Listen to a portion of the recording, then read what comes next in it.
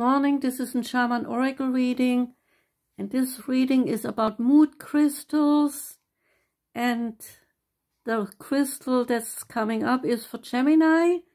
And I shuffled the cards, Gemini, and I assigned one card to each zodiac. And for you came out emerald, diamond, sapphire, and obsidian. And these crystals relate to being strong. True strength comes from a place of emotional intelligence, which allows us to find value in our experiences. The ability to navigate with clarity, tolerance, and a greater understanding build emotional strength and resilience.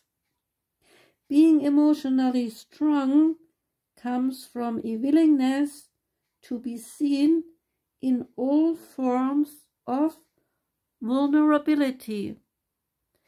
That was your reading. I wish you a wonderful Sunday and goodbye.